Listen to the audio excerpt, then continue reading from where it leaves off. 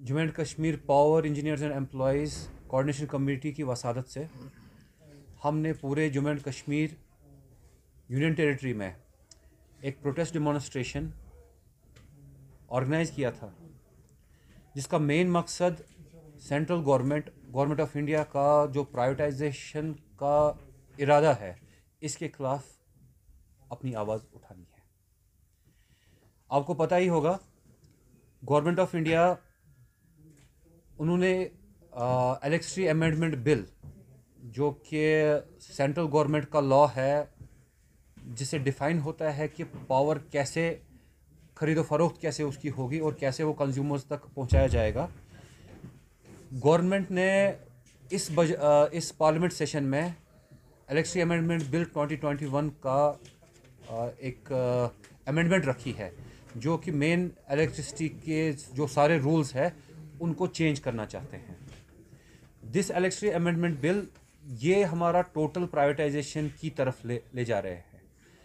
Government of India की, आज की पॉलिसी है disinvestment and privatisation of public sectors disinvestment power sector एक ऐसा सेक्टर है जो under constitution it's a concurrent issue जिसमें state governments state administration UT administration और सेंट्रल गवर्नमेंट को पहले जो कि सारे स्टेक होल्डर्स है, स्टेक होल्डर्स है एम्प्लॉयज़ और जो यहाँ पे कंज्यूमर्स है, वो दोनों।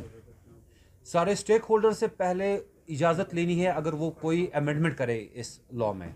बट जो हम सेंट्रल गवर्नमेंट की पॉलिसी है, हम देख रहे हैं कि without consulting any of this stakeholders ना कि किसी एसोसिएशन किसी एम्प्लॉय की एसोसिएशन एम्प्लॉय यूनियंस को कंसल्ट किया जा रहा है नेशनल लेवल पे।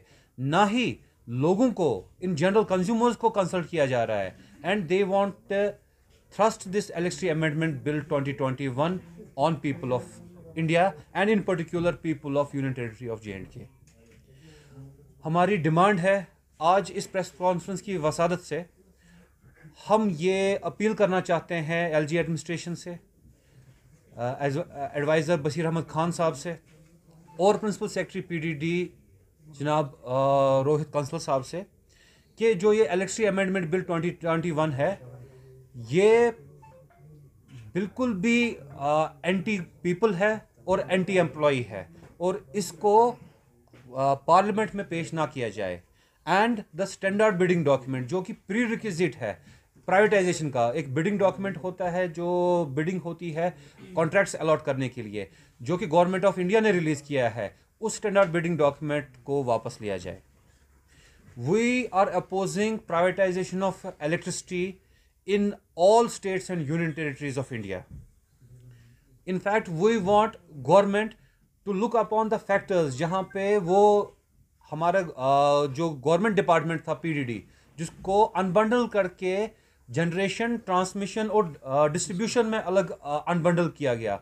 हम ये चाहते हैं कि गवर्नमेंट उसको रिबंडल करके तीनों तीनों विंग्स को रिबंडल करके एक विद्युत बोर्ड जैसे बाकी स्टेट्स में होता है या एक गवर्नमेंट डिपार्टमेंट में वापस किया जाए।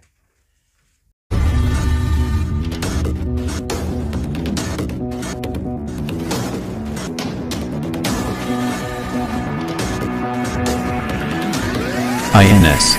Extremely fearless journalism.